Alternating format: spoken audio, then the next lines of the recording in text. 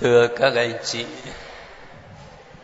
tuần trước tôi ờ, có nói với các anh chị là Liên Hội đồng Giám mục Á Châu phải ờ, thay đổi ngày họp ở Việt Nam. Trao đổi với nhiều hội đồng giám mục thì đương nhiên nó cũng khó khăn lắm. Ví dụ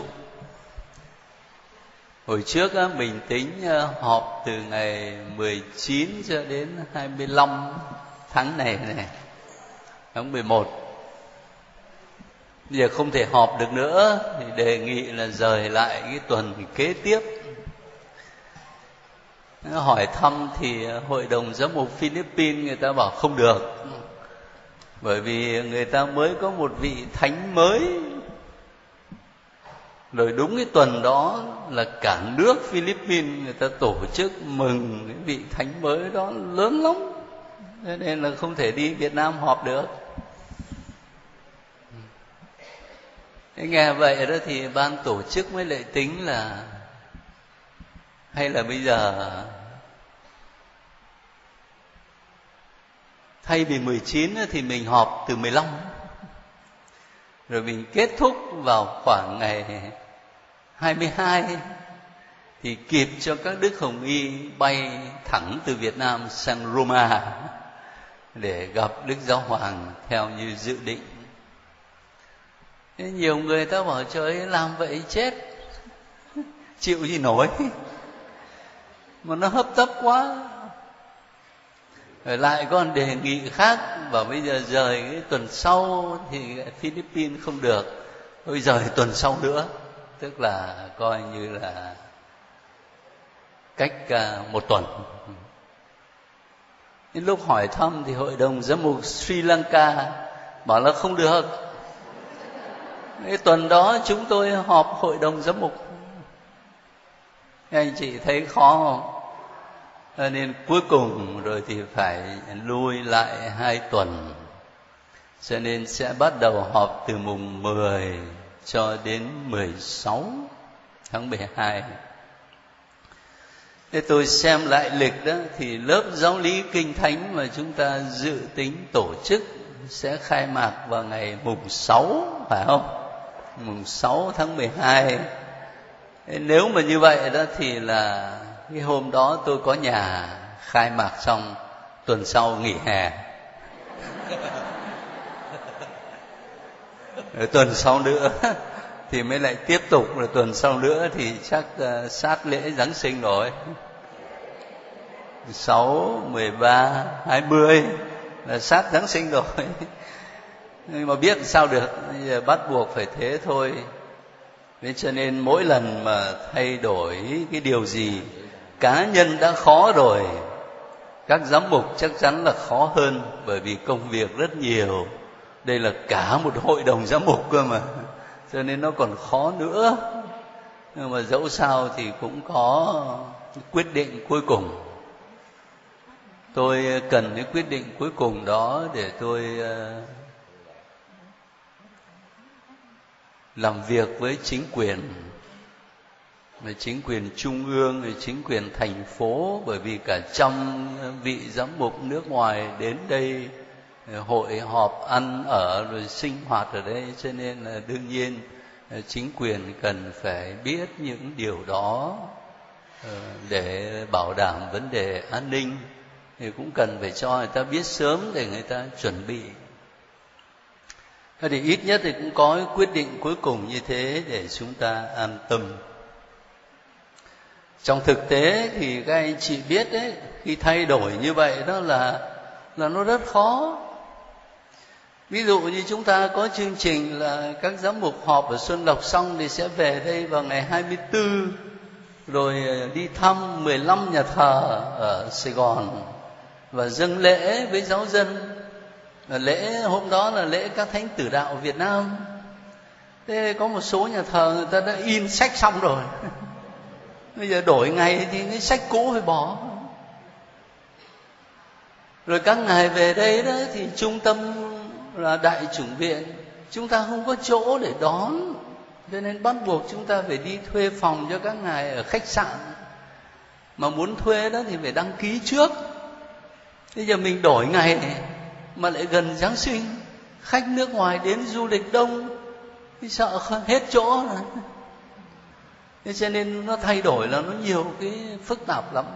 Nhưng mà phải chấp nhận thôi vì ích chung của hội thánh nhất là đây là lần đầu tiên chúng ta đón tiếp các giáo mục ở bên Á Châu đến thăm đất nước, thăm giáo hội của mình thì cố gắng hết sức thôi. Nào, thế bây giờ chúng ta còn mấy tuần nữa để tập trung vào tin mừng dò àn hay còn gọi là tin mừng thứ thứ mấy ừ. thứ tư chứ chả nhẽ thứ năm. Tin mừng thứ tư.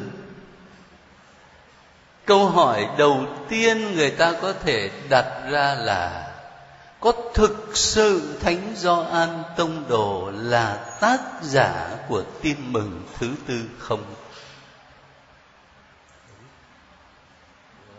Nếu chúng ta đọc ở trong tin mừng thứ tư thì ta sẽ thấy hay nhắc đến từ người môn đệ chúa yêu.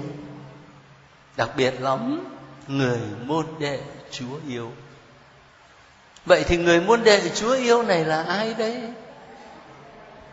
rồi các anh chị sẽ trả lời thẳng là rõ án, nói nghe ngon lành vậy. Nhưng mà nói cho nó có đầu, có đuôi một chút á thì như thế này. Khi Chúa Giêsu đi giảng đạo, có rất nhiều người đi theo Chúa để nghe Chúa giảng, chứng kiến việc Chúa làm. Trong số đám đông đi theo Chúa Chúa mới chọn ra 72 môn đệ. Thánh Luca nói với chúng ta về con số 72 này rồi trong số 72 môn đệ, Chúa thành lập một nhóm, bao nhiêu người? Nhóm 12. Nhóm 12 các vị này được gọi là tông đồ. Và trong nhóm 12 ấy lại có một nhóm nhỏ có thể gọi là thân tín nhất của Chúa Giêsu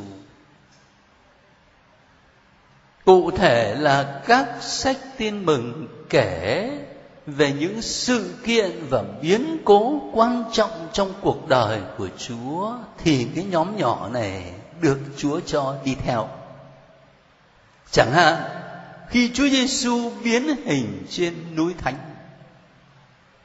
Chẳng hạn khi Chúa Giêsu đi vào vườn Gethsemane, cơn hấp hối cầu nguyện ở đó cái nhóm nhỏ ba người đó là ai? Phêrô Jacobe và Gioan. Thánh Phêrô thì chúng ta biết rồi. Thánh Jacobe thì ngài qua đời từ năm 44 mà sách tin mừng thứ tư này mãi đến năm 90 mới được viết ra như vậy thì người môn đệ chúa yêu ở đây chỉ còn có thể là thánh gioan. Mà thực sự truyền thống của hội thánh ngay từ thời đầu đã nói thánh gioan là tác giả của tin mừng thứ tư. Và còn nói thêm một điều rất quan trọng, gọi tin mừng thứ tư là tin mừng thiêng liêng. Từ đó hay lắm tin mừng thiêng liêng. Các anh chị cứ tưởng tượng xem Thánh Gioan là một người môn đệ gần gũi thân thiết với Chúa, được Chúa yêu mến lắm. Thế thì chúng ta cứ coi như là Chúa Giêsu chịu đóng đinh, chịu chết trên thánh giá. Năm 33 đi. Mà tin mừng này thì mãi đến năm 90 mới được viết ra. Như vậy là gần 60 năm, phải không? Trong 60 năm đấy, thánh Gioan nghiền ngẫm cầu nguyện. Nhớ lại cuộc đời của Chúa, nhớ lại những lời Chúa dạy mà không phải chỉ nhớ lại đâu mà ngài nghiền ngẫm ngài suy tư ngài cầu nguyện, rồi cuối cùng ngài mới đặt bút ngài viết ra cuốn tin mừng thứ tư. Cho nên ở trong đó, nó hàm chứa không chỉ là kể lại sự kiện, nhưng mà cả một nội dung suy tư rất sâu sắc. Cho nên người ta gọi là tin mừng thiêng liêng cái tin mừng ấy đặc biệt chú tâm đến đời sống thiêng liêng của mỗi chúng ta. Cho nên có dịp đi tĩnh tâm, lấy tin mừng theo thánh Gioan ra, đem theo mỗi ngày đọc một đoạn cầu nguyện, nghiền ngẫm suy nghĩ, thì đó là điều tốt lắm. Với các anh chị có thể đọc lại trong cái cuốn Đường về em mau về phần này tôi cũng viết vắn tắt thôi chứ không ờ, có dài dòng gì đâu. Rồi sau đó đó tôi có giới thiệu với bố cục của tin mừng theo Thánh Gioan. Ở đây chỉ nhắc đến hai phần lớn bởi vì nó rất lạ, nhiều khi chúng ta chưa có nghe. Hai phần lớn đó là phần thứ nhất đó, được gọi là sách của những dấu lạ. Và phần thứ hai gọi là sách vinh quang. Thế lát nữa chúng ta tìm hiểu dấu lạ nghĩa là cái gì, để rồi sau đó mình xem một hai dấu lạ. Ở phần thứ nhất ở phần thứ hai đó là sách vinh quang nói về cuộc khổ nạn của Chúa, nói về cái chết của Chúa mà lại gọi là sách vinh quang. Thế ta mới thấy Thánh Gioan rất là độc đáo. Ngài nhìn thấy vinh quang của Thiên Chúa tỏ hiện nơi chính cuộc khổ nạn và cái chết trên thập giá của Chúa Giêsu.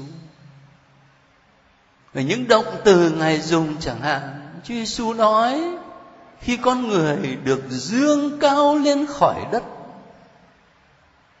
người sẽ kéo mọi sự lên với người. Cái động từ được dương cao đó nó có hai nghĩa. Nghĩa thứ nhất về mặt thể lý là Chúa Giêsu bị người ta treo lên và đóng đinh thập giá nhưng mà nghĩa thứ hai của dương cao đó là Chúa Giêsu được tôn vinh được tôn vinh cho nên vinh quang tỏ hiện nơi chính cuộc khổ nạn và cái chết của Chúa Giêsu trên thập giá. Thế rồi khi Chúa Giêsu tắt thở đó thì Thánh Gioan mô tả là người phó thác thần khí, người bán thần khí rồi cũng thánh Gioan kể cái chuyện là người lính cầm đồng đâm cạnh sườn, tức thì máu cùng nước chảy ra. Tôi lấy một vài ví dụ nho nhỏ như vậy để anh chị em thấy được vinh quang ở chỗ nào. Thế còn bây giờ đó thì chúng ta tập trung vào phần thứ nhất, sách của những dấu lạ. Dấu lạ nghĩa là cái gì?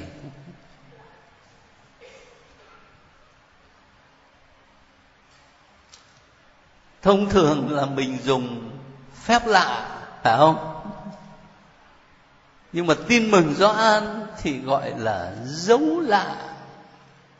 Chúng ta dịch dấu lạ nghe cho nó có vẻ oai phong. Và nếu mà dịch bình thường á, thì nó là dấu chỉ thôi dấu chỉ.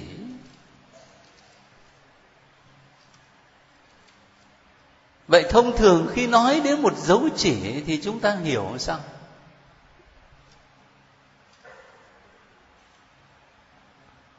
Cái cuộc sống ngày hôm nay người ta vội vã quá, người ta bộn bề công việc quá và người ta thực dụng quá.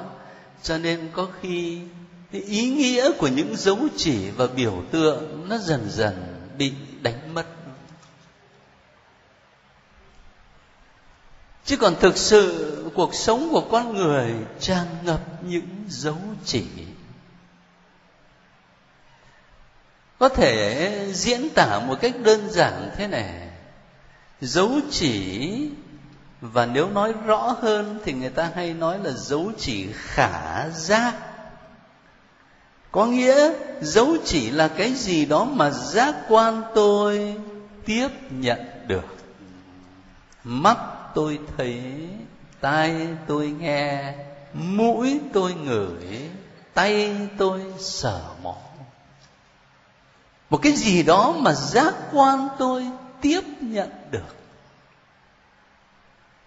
Nhưng gọi là dấu chỉ, bởi vì nó không ngưng ở chỗ mà giác quan mình tiếp nhận. Nhưng nó muốn diễn đạt một nội dung mà giác quan không thấy, không nghe, không ngửi, nhưng mà nội dung đó hoàn toàn có thật. Ấy có thể diễn tả đơn sơ như vậy. Giờ ta lấy ví dụ.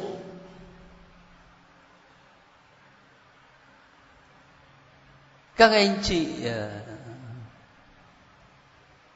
ngày sinh nhật của bạn bè chẳng hạn, hoặc là các anh chị có con cái, ngày sinh nhật của các anh chị, các cháu nó mới mua một bó hoa nó đến tặng cho bà mẹ.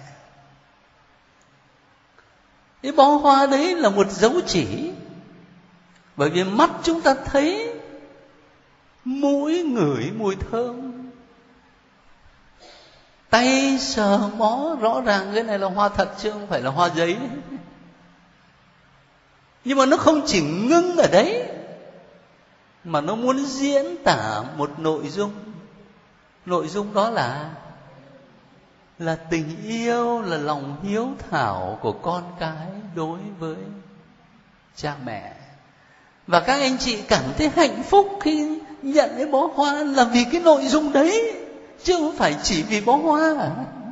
Đúng không? Một dấu chỉ. Một ví dụ khác cũng liên quan đến các anh chị sống đời hôn nhân gia đình. Tôi dạy giáo lý hôn nhân cho giới trẻ, tôi hay nói cái chuyện cụ thể đó để các bạn dễ hiểu cái nhẫn mà chúng ta đeo ở trên tay này cái nhẫn đó nó không chỉ là cái nhẫn vật chất, nhưng nó là dấu chỉ. Cái nhẫn đấy, trước khi mà làm phép cưới, mình đi ra ngoài tiệm vàng, mình mua, người ta bán cái nhẫn một triệu, hai triệu gì đó. Và khi ta mua cái nhẫn đó, thì mối tương quan của ta với người bán hàng, nó là một tương quan. Mua bán. Anh đưa cho tôi hai triệu, tôi đưa cho anh cái nhẫn.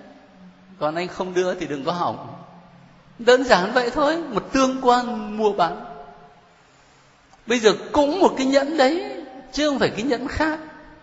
Trong ngày làm lễ hôn phối các anh chị cầm lấy mà xỏ vào tay người bạn đời của mình và nói câu như chúng ta được hướng dẫn khi cử hành nghi thức hôn phối.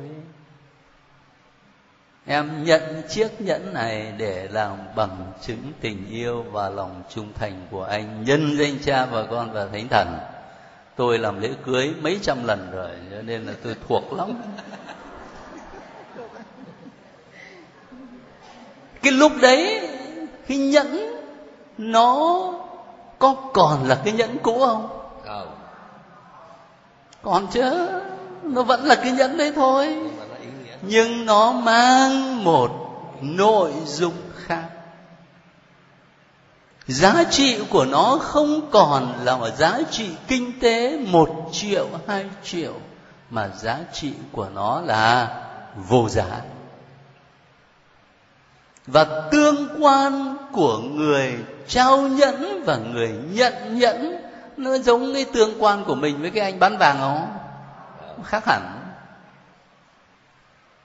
Nó không còn là tương quan mua bán, mà là tương quan của tình yêu. Thế chúng ta thấy cuộc sống này tràn ngập những ví dụ như vậy để cho mình thấy được đầy những dấu chỉ. Có khi thực dụng quá rồi mình không còn khám phá ra ý nghĩa của những dấu chỉ. Cách riêng là đối với đời sống đức tin, đời sống tôn giáo. Khi mà chúng ta không còn khám phá ra được ý nghĩa của những dấu chỉ đó, thì những cử hành tôn giáo sao có vẻ vô nghĩa quá. Vô nghĩa lắm có lẽ mình phải đi tìm lại ý nghĩa của những dấu chỉ. Tại sao tôi vào nhà thờ, tôi bái gối hay tôi cúi đầu? Tại sao tôi vào nhà thờ, tôi đặt tay vào trong chỗ bình nước thánh để tôi làm dấu thánh giá? Tại sao tôi vào nhà thờ, tôi quỳ gối cầu nguyện? Từng chút chút một nó đều là cái dấu chỉ diễn tả nội tâm của con người và nhiều khi cuộc sống nó thực dụng quá rồi mình không còn để ý nữa. Mình làm cho nó xong.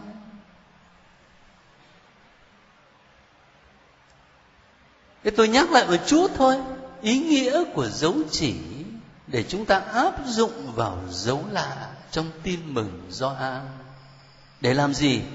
Để khi các anh chị đọc những dấu lạ mà thánh do an kể lại chúng ta không ngưng ở chỗ thánh Gioan kể cái gì mà chúng ta phải tự hỏi xem thánh Gioan muốn nói với mình điều gì. Lời chúa muốn nhắn gửi mình điều gì ở đằng sau cái dấu chỉ này. Tập đọc tin mừng Gioan như vậy thì mới thấy nó sâu sắc còn nếu không thì mình sẽ chỉ đọc ờ, như là phép lạ. Chúa thì chúa giỏi thật đấy.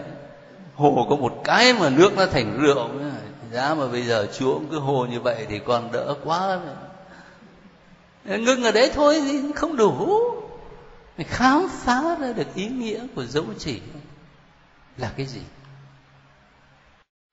Nào, thế bây giờ chúng ta đọc một bài dấu lạ coi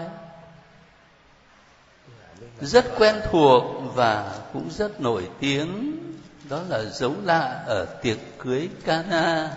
Tin mừng do an. Chương 2 thực sự tin mừng này sâu sắc lắm. Nếu mà có giờ mà cứ mỗi ngày đọc lên một chương thôi thì cũng không biết là có đủ để chúng ta giải thích cho nhau không. Thôi mình chấp nhận như vậy. Giờ chúng ta đọc lại câu chuyện rất quen thuộc ở Cana. Từ câu 1 cho đến câu 12 ngày, ngày thứ ba có tiệc cưới tại Cana miền Galilee trong tiệc cưới có thân mẫu Đức Giêsu Đức Giêsu và các môn đệ cũng được mời tham dự. Khi thấy thiếu nợ thân mẫu Đức Giêsu nói với người họ hết rượu rồi. Đức Giêsu đáp thưa bà chuyện đó can gì đến bà và tôi? giờ của tôi chưa đến. thân mẫu người nói với gia nhân người bảo gì, các anh cứ việc làm theo. Ở đó có đặt sáu trái trung đá dùng vào việc thanh tẩy theo thói tục người do thái. Mỗi chung chứa được khoảng tám mươi hoặc một trăm hai mươi lít nước. Đức giêsu bảo họ, các anh đổ đầy nước vào chung đi, và họ đổ đầy tới miệng rồi người nói với họ bây giờ các ăn múc và đem cho ông quản tiệc. Họ liền đem theo cho ông. Khi người quản tiệc nếm thử nước đã hóa thành rượu mà không biết rượu từ đâu ra. Còn gia nhân đã múc nước thì ông mới gọi tâm lan lại và, nói ai ai cũng hết rượu ngon trước và khi khách đã ngàn ngà ngà mới đái rượu xoàng hơn. còn ăn ăn lại giữ rượu ngon mãi cho đến bây giờ. Đức Giêsu đã làm dấu lạ đầu tiên này tại Cana miền Galilee và bày tỏ vinh quang của người. Các môn đệ đã tin vào người. Sau đó, người cùng với thân mẫu, anh em và các môn đệ xuống Ca Phát Na ôm và ở lại tại đó ít ngày. Cảm ơn các anh chị. Cái chuyện uh, tiệc cưới mà thiếu rượu là chuyện hoàn toàn có thể xảy ra nếu chúng ta đặt mình lại vào trong bối cảnh của một làng quê do Thái cách đây hai ngàn năm. Ngày hôm nay mà nói chuyện là tiệc cưới thiếu rượu thì không hiểu được.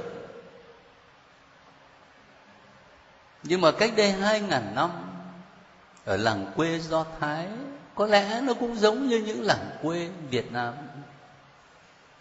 Một đám cưới không chỉ là niềm vui của một gia đình, mà của cả làng. Và người ta ăn cưới to lắm, ăn cả tuần cơ mà. Thế thì uống ờ, chừng nào cho kể. Rồi là niềm vui thế cho nên là khách làng khác có đi ngang qua đó ta kéo vào làm luôn. Nhưng thử ra chuyện thiếu rượu là chuyện hoàn toàn có thể. Nhưng mà đấy như tôi mới nói với các anh chị đây là một dấu lạ câu 11 Đức Giêsu đã làm dấu lạ đầu tiên này. Gioan rõ ràng dùng từ dấu lạ thế thì chúng ta vừa mới nói là khi mình gặp một dấu lạ mình không chỉ ngưng ở sự kiện, câu chuyện diễn ra bên ngoài, mà phải đi tìm cái ý nghĩa của dấu lạ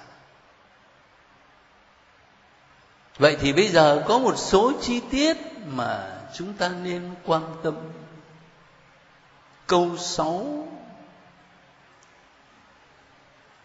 ở đó có đặt sáu chú đá dùng vào việc thanh tẩy theo thói tục người do thái. Dùng vào việc thanh tẩy. Giờ các anh chị nhớ dùng tôi coi đã học cựu ước rồi đã đọc ba sách tin mừng Matthew, Marco và Luca rồi. Chúng ta thấy đối với người Do Thái, luật thanh tẩy có quan trọng không? Rất quan trọng.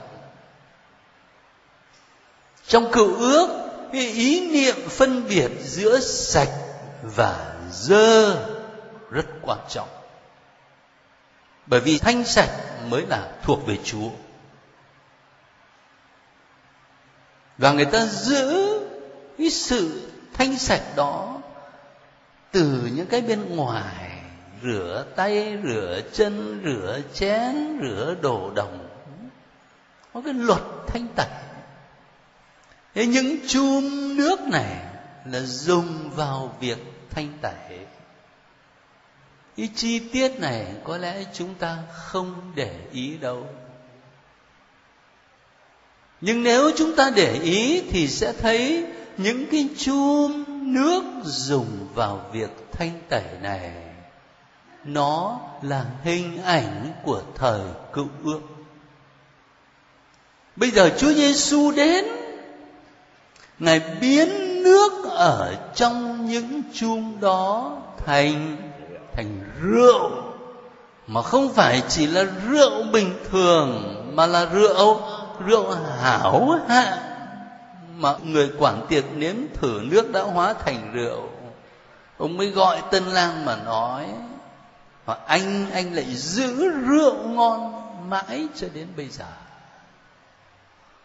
Chúa Giêsu biến nước ở trong những cái chum dùng vào việc thanh tẩy thành một thứ rượu rượu hảo hạng mà tràn trề bởi vì những sáu chum cơ mà đổ đầy tới miệng. Hai trăm lít. Uống mà xỉu. Cái hình ảnh đó nó muốn diễn tả Chúa Giêsu đến không phải là để phá hủy lề luật cựu ước mà là để kiện toàn để làm cho chọn Chúa Giêsu đến là thời đại của đấng Mêsia đã đến. Cái nội dung về mặt thần học mà quan trọng là người ta muốn diễn tả điều đó. Một chi tiết nữa, tôi gợi ý để các anh chị quan tâm. Khi chúng ta đọc tin mừng Gioan đang cầm sách thánh trên tay lật ngược lại ở chương thứ nhất đó. chương thứ nhất và ngay câu đầu tiên thì sao? Lúc khởi đầu đã có ngôi lời rồi. Mình đọc cái câu này, lúc khởi đầu đã có ngôi lời. Chúng ta nhớ đến cái câu mở đầu của sách nào trong cựu ước? Sách sáng thế sách sáng thế và nếu mà ta đọc tiếp đó, thì ở câu 14 là câu mà lúc nãy các bạn hướng dẫn cầu nguyện đã chọn, ngôi lời đã làm người ở giữa chúng tôi. Người nhớ lại những cái thư của Thánh Gioan mà ta đã đọc hai ba tuần trước đó, thì đều thấy là ngài nhấn mạnh rất nhiều đến mầu nhiệm nhập thể điều chúng tôi đã thấy, điều chúng tôi đã nghe, và tay chúng tôi chạm đến chính là lời hằng sống Thánh Gioan nhấn mạnh lắm đến mầu nhiệm nhập thể. Thế thì ở đây cũng vậy. Khi ta đọc cái câu chuyện giấu lạ nước thành rượu này, có thể thấy được ý nghĩa của mầu nhiệm nhập thể. Nói một cách nó cụ thể hơn, các anh chị à, đi dự lễ chủ nhật, một số anh chị tôi biết còn đi lễ hàng ngày. Cho nên những câu thưa đáp trong thánh lễ chúng ta quen lắm rồi nhưng có một lời thì chúng ta không nghe, bởi vì lúc đó thường là ca đoàn hát. Mà giả như ca đoàn không hát thì linh mục cũng đọc thầm cho nên mình không có nghe. Đó là lúc mà chuẩn bị lễ vật đó thì chú giúp lễ đem bánh lên này, sau đó là đem rượu này và linh mục đổ rượu vào chén. Nhưng mà chưa hết ngài còn đổ gì nữa? Một chút nước vào chén rượu. Và khi đổ một chút nước vào chén rượu, thì ngài thầm thĩ đọc rằng, cũng như nước hòa vào trong rượu nho, xin cho nhân tính của chúng con được hòa vào thần tính của Chúa. Một cái lời rất là sâu sắc. Nước và rượu đấy. Thì hòa vào trong thần tính của Chúa. Thành thử ra việc Chúa Giêsu biến nước thành rượu ở đây, nói đến mầu nhiệm nhập thể thiên chúa đến làm con người. Ngài nên giống chúng ta trong mọi sự, chỉ trừ có tội lỗi thôi. Và một khi thiên chúa đến để đón lấy cái bản tính con người của chúng ta như thế này, làm người giống như mình, thì thiên chúa nâng cái bản tính nhân loại đó lên. Để dẫn chúng ta đến cái chỗ được hòa vào trong thần tính của chúa, tham dự vào sự sống của chúa. Điều này nghe có vẻ nó hơi trừu tượng và khô khan, nhưng mà về mặt giáo lý thì quan trọng. Thế cho nên là dẫu lạ mình không chỉ ngưng ở sự kiện bên ngoài diễn ra mà khám phá ý nghĩa ở bên trong. Dĩ nhiên cái việc mà chúa biến đổi con người chúng ta và dẫn mình vào trong sự sống của thiên chúa ba ngôi điều đó nó không diễn ra một cách uh, automatic một cách uh, tự động. Bởi vì mình là con người có tự do mà. Cho nên phải có sự cộng tác của mình thành thử ra câu mà đức mẹ nói với gia nhân, người bảo gì các anh cứ việc làm theo. Câu đó quan trọng. Nhiều khi chúng ta yêu mến đức mẹ lắm nhưng mà cái câu này thì không nhớ. Mình yêu mến đức mẹ theo cái cảm tính tự nhiên của mình thôi mà mình quên mất rằng mỗi một lần mình đến với đức mẹ thì đức mẹ nhắn nhủ, chúa giêsu bảo gì, con cứ làm theo. Thế là mình lo đến với đức mẹ để xem hết bí mật này đến bí mật khác. Mà có mỗi câu mà đức mẹ nhắn nhủ là, chúa giêsu con của mẹ bảo gì thì con cứ làm theo. Thì cái câu đó không nhớ đấy là sự cộng tác của chúng ta vào trong hành động biến đổi của thiên chúa. Một chi tiết nữa. Cái chi tiết này nó khởi đi từ ờ, đời sống phụng vụ thôi. Các anh chị hay nghe bài tiệc cưới Cana này lúc nào? Lễ hôn phối. Lễ hôn phối. Lễ hôn phối thì người ta hay đọc tin mừng theo thánh mắt theo điều gì thiên chúa đã kết hợp thì con người không được phân ly. Nhưng mà cũng nhiều lần các vị à, chủ sự chọn cái câu chuyện về tiệc cưới Cana. Bởi vì Chúa Giêsu đi ăn cưới mà cả đức mẹ cũng đi ăn cưới mà nhưng mà không phải vì chuyện Chúa Giêsu với Đức Mẹ đi ăn cưới mà đọc ở trong lễ hôn phối đâu. Nó có một ý nghĩa sâu xa hơn. Chúng ta có bảy bí tích, trong đó có bí tích hôn phối. Bí tích là cái gì? Đấy có các anh chị trả lời rất vắn tắt. Đấy, định nghĩa ở trong sách giáo lý thì dài lắm. Nhưng mà khi tôi dạy giáo lý thì tôi hay nhắc đến cái định nghĩa rất đơn giản của thánh augustino. Bí tích là dấu chỉ hiệu nghiệm. Đơn giản. Thế các anh chị lại thấy dấu chỉ này. Bí tích rửa tội, tôi nhìn thấy nước. Nhưng mà nước nó là dấu chỉ thôi.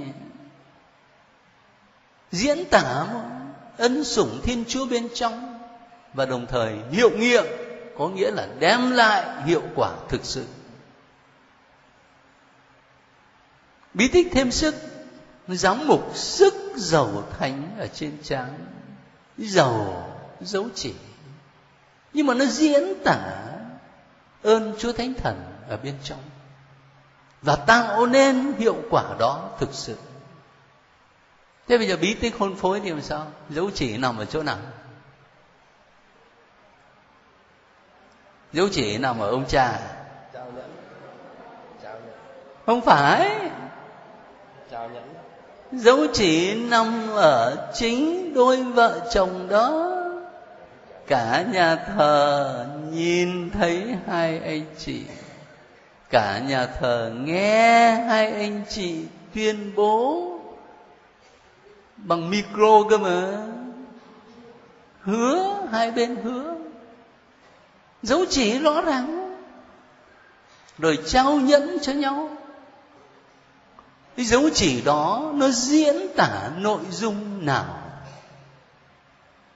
Nó diễn tả tình yêu của Chúa Kitô và hội thánh.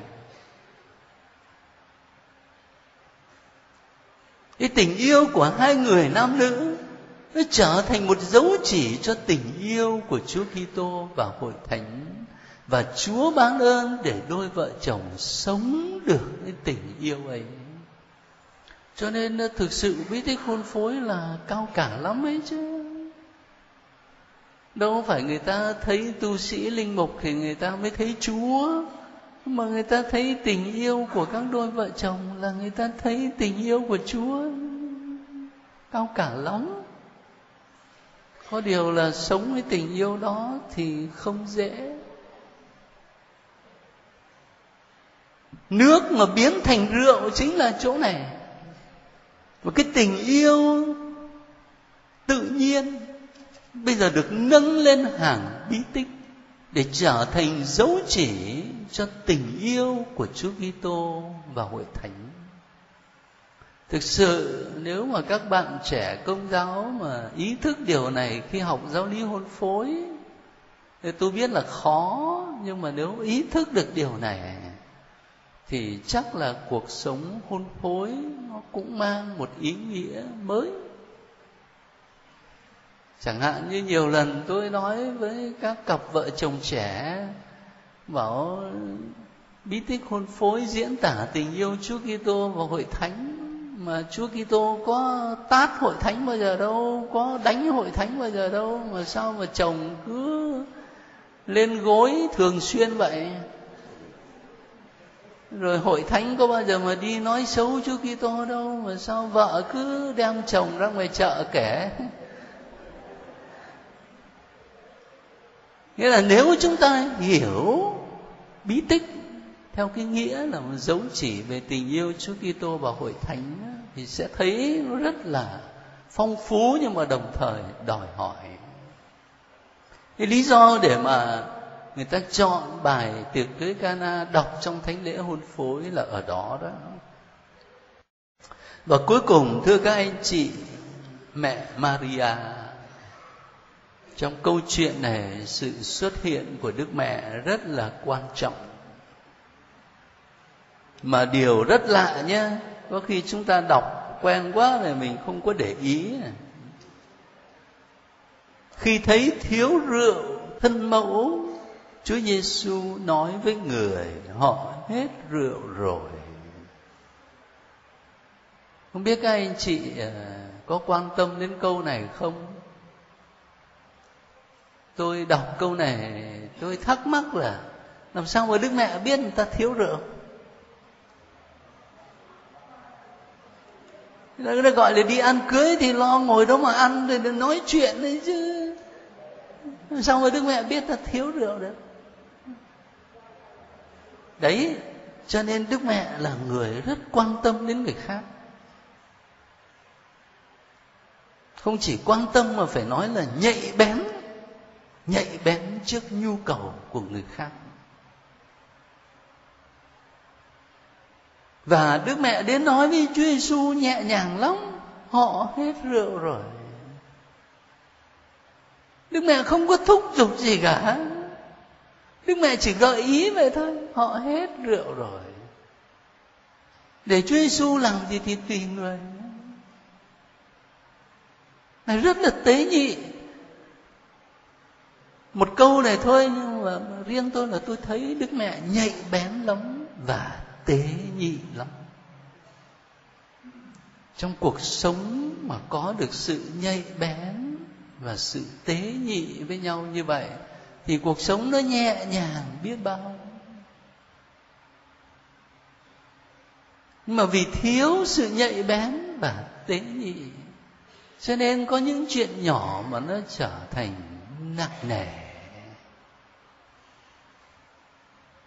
Một nhà tư tưởng khi suy tư về điều này, ông ấy có phát biểu một câu là nhạy bén trước nhu cầu của người khác là nét tinh tế nhất của tình yêu.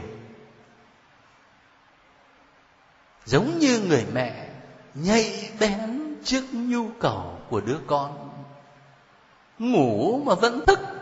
Thằng bé nó ho cái là mẹ biết rồi. Hay vậy. Rất nhạy bén.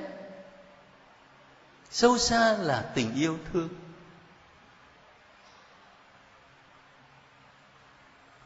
Cho nên ờ, chúng ta mà học được với Đức Mẹ, cái sự nhạy bén và tế nhị trong đời sống, trong cách ứng xử như thế thì quý lắm. Thế các anh chị đang cầm sách thánh ở trong tay đó chịu khó dò theo tôi này. Sau câu chuyện tiệc cưới Cana đó là đến chuyện gì? Chúa Giêsu thanh tẩy đền thờ. Tôi thấy cái từ tẩy uế này tôi sợ quá. Cho nên thôi gọi là thanh tẩy đi. Rồi đến chương thứ ba là Chúa Giêsu đối thoại với Nicodemo. Các anh chị thấy sau tiệc cưới Cana, rượu mới. Thế bây giờ, Đức Giêsu thanh tẩy đền thờ đền thờ mới. Rồi trong cuộc đối thoại với ông Nicodemo, đó là sự sinh hạ mới. Có thấy không? Nếu không được, tái sinh thì không được vào nước trời. Chương 3 câu 5 Thật tôi bảo thật ông, không ai có thể vào nước thiên chúa nếu không sinh ra bởi nước và thần khí sở dĩ tôi nhắc các anh chị dò theo tôi những chuyện đó để mình thấy được chiều sâu ở trong tin mừng Gioan ngài mở đầu tin mừng. Lúc khởi đầu đã có ngôi lời. Các anh chị nói với tôi cái câu đó ở trong sách sáng thế. Đúng như thế. Và như vậy nghĩa là gì? Nghĩa là thánh gioan đang muốn kể một công trình sáng thế mới của thiên chúa đây. Một công trình tạo dựng mới đây. Trong công trình tạo dựng mới đấy này, rượu mới này đền thờ mới này sự sống mới có bao giờ chúng ta hình dung được cái cái tư tưởng giáo lý của ngài nó sâu sắc như vậy Thế tiếp sang chương thứ tư chúng ta có một câu chuyện nổi tiếng Chúa Giêsu tại Samari. Câu chuyện này quen nhưng mà đồng thời dài lắm. Tôi chỉ xin các anh chị à, để cho dễ nhớ. Thì mình hình dung thế này. Câu chuyện dài ở trong chương thứ tư, nó có phần mở đầu. Từ câu 1 cho đến câu 6 cái phần đó mô tả Chúa Giêsu rời Judea để đi Galilee, rồi trên đường qua Samari thì Chúa mệt ngồi nghỉ ngơi bên bờ giếng sau đó đó là có hai cuộc đối thoại cuộc đối thoại thứ nhất đó, từ câu 7 cho đến câu 26 là đối thoại giữa Chúa Giêsu và người phụ nữ Samaria. Rồi đến cuộc đối thoại thứ hai là từ câu 31 đến câu 38 là Chúa Giêsu nói chuyện với các môn đệ. Rồi mới đến phần kết luận là câu 39 đến 42. Thế trước khi chúng ta đi vào từng chi tiết một đó, thì nên có một cái nhìn tổng quát về cấu trúc của câu chuyện đó và thời giờ cũng không có nhiều, cho nên chúng ta đọc một chút thôi. Tôi mời các anh chị cái phần dẫn nhập mở đầu. Mình biết rồi. Bây giờ ta đọc câu 7 cho đến câu 14 có một người phụ nữ Samari đến lấy nước. Đức Giêsu nói với người ấy Chị cho tôi xin chút nước uống. Lúc đó các môn đệ của người đã vào thành mua thức ăn. Người phụ nữ Samari liền nói Ông là người Do Thái Mà lại xin tôi Một người phụ nữ Samari Cho ông nước uống sao Quả thế Người Do Thái không được giao thiệp với người Samari Đức Giêsu trả lời Nếu chị nhận ra ân huệ Thiên Chúa ban Và ai là người nói với chị Cho tôi chút nước uống Thì hẳn chị đã xin Và người ấy đã ban cho chị nước hàng sống. Chị ấy nói Thưa ông Ông không có dầu Mà là dưới nước lại sâu.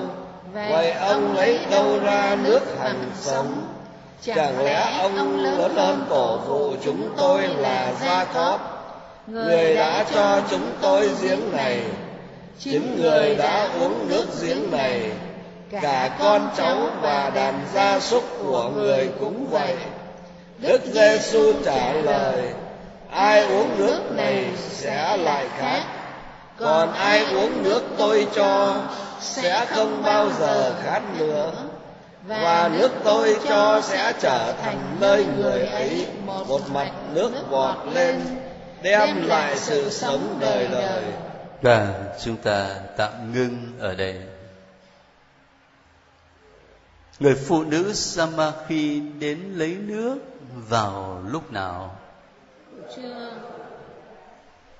ở câu 6 viết rất rõ 12 giờ trưa ở bên do thái thông thường các phụ nữ người ta đi kín nước lúc nào vậy? Người ta đi kín nước từ sáng sớm à? Bà này bà ấy đợi đến trưa bà ấy mới đi kín nước. Tại sao vậy? Bà nhiều chồng quá. Có hai cách giải thích. Thứ nhất đó là bà này bà ấy linh tinh lắm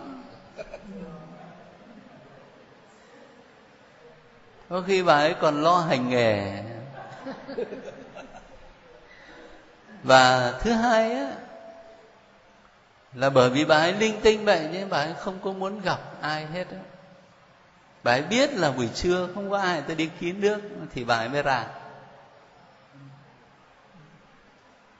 Nguyên chi tiết đó cộng thêm với những lời đối thoại sau này đủ cho thấy là người phụ nữ này có vấn đề trong xã hội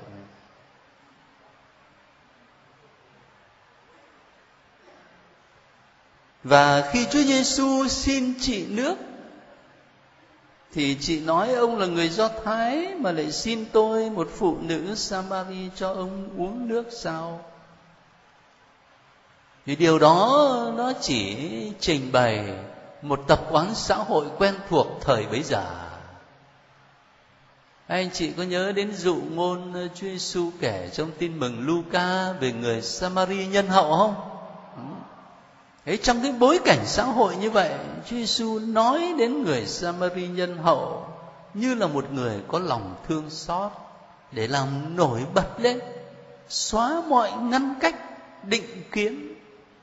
Còn thực tế đó là giữa người Do Thái và Samaria coi nhau như kẻ thù vậy cho nên chị phụ nữ này chị thắc mắc là chuyện bình thường. Thế bây giờ tôi xin các anh chị để ý giúp tôi câu thứ bảy và câu thứ mười. Ở câu thứ bảy, chúa giêsu nói với người phụ nữ này, chị cho tôi xin chút nước uống như vậy chúa giêsu là người xin nước và người phụ nữ là người cho. ở câu thứ mười đức giêsu trả lời nếu chị nhận ra ân huệ thiên chúa ban và ai là người nói với chị cho tôi chút nước uống thì hẳn chị đã xin và người ấy đã ban cho chị nước hằng sống. Ở câu này thì Chúa Giêsu là người là người cho, và chị phụ nữ là người xin. Có thấy cái sự đảo lộn không? Và đồng thời, nước ở hai câu này nó khác nhau không? Ở câu thứ bảy, cho tôi xin chút nước uống. À, là nước giống như nước lã mà chúng ta vẫn uống, nước giếng. Ở câu thứ mười, người ấy sẽ ban cho chị nước hằng sống. Anh chị đã thấy dấu lạ chưa? Dấu chỉ chưa? Đó. Nước giếng trở thành dấu chỉ về nước hằng sống. Nhưng mà chị phụ nữ này sẽ không xin. Chị ấy chỉ xin nếu chị nhận ra ân huệ thiên chúa ban nếu chị có đức tin để chị nhận ra đấng đang nói với chị là ai. Chứ còn nếu mà chị không có đức tin thì ông xin tôi thì có chứ việc gì mà tôi phải xin ông? Ông có gầu đâu mà ông muốn nước? Cho nên ông phải xin tôi chứ tại sao tôi xin ông? Phải có đức tin, nhận ra ân huệ thiên chúa bạn phải từ đó đó ta để ý cái câu 14 Ai uống nước này sẽ lại khát, Còn ai uống nước tôi cho sẽ không bao giờ khát nữa, và nước tôi cho sẽ trở thành nơi người ấy, một mạch nước vọt lên, đem lại sự sống đời đời. Thì tôi có ý nhắc cái những câu kinh thánh như thế, để các anh chị nối kết lại, thấy dấu chỉ nằm ở đâu, dấu lạ nằm ở đâu. Và chưa hết đâu chúng ta để ý từ câu 15 trở đi đó. Câu 16 Chúa Giêsu nói với chị phụ nữ, chị hãy gọi chồng chị rồi trở lại đây. Người phụ nữ đáp, tôi không có chồng. Chúa bảo, chị nói tôi không có chồng là phải, vì chị năm đời chồng rồi, và người hiện đang sống với chị không phải là chồng chị. Chị đã nói đúng thế tôi xin các anh chị để ý dùm tôi điều này. Bắt đầu là nước. Đi kín nước. Giờ à, Chúa Giêsu dẫn người phụ nữ này trò chuyện, gọi chồng chị ra đây. Bà ấy bảo bà ấy không có chồng, mà bà ấy năm ông rồi. Ông này là thứ sáu rồi. Nghĩa làm sao? Nghĩa là từ cơn khát nước nước giếng. Chúa Giêsu bắt đầu dẫn người ta vào một nỗi khát khao sâu hơn trong tâm hồn. Người ta không chỉ khát nước về mặt thân xác, nhưng người ta có nỗi khát khao trong tâm hồn. Mà bà ấy đi tìm hoài cái cơn khát nó vẫn không đã. Bởi vì nếu nó đủ thì chắc chỉ hai là cùng. Đây là đến số 6 rồi. Mà chắc cũng còn trẻ đấy chứ. Có một cái nỗi khát khao trong tâm hồn mà những thực tại trong cuộc đời này nó không lấp đầy được chỉ có nước hằng sống của thiên chúa thì mới lấp đầy được những khát khao sâu thẳm trong lòng người ta. Đấy là điều mà à, chúng ta phải học với Chúa Giêsu về cái cách à, cách giảng, cách dạy học sư phạm của Chúa tuyệt vời. Ờ, từ những chuyện rất bình thường trong đời sống này, người dẫn người ta từ từ vào trong đời sống tinh thần rồi dẫn xa hơn nữa đến chân lý ban sự sống. Tôi không có ý giải thích và không có giờ để giải thích trọn vẹn cái câu chuyện này. Nhưng tôi chắt lọc một vài chi tiết với mục đích là giúp các anh chị làm quen đó, đọc tin mừng do An ở phần sách dấu lại. Để ý những chi tiết như vậy để thấy dấu chỉ nó nằm ở chỗ nào diễn tả cái gì? Giáo huấn tin mừng chúng ta khám phá ra lời chúa nói với mình điều gì? Tôi bây giờ thì đã trễ mất mấy phút. Chúng ta nghỉ ở đây và mời các anh chị à, tuần tới đó mình đọc tiếp từ chương 7 cho đến chương 12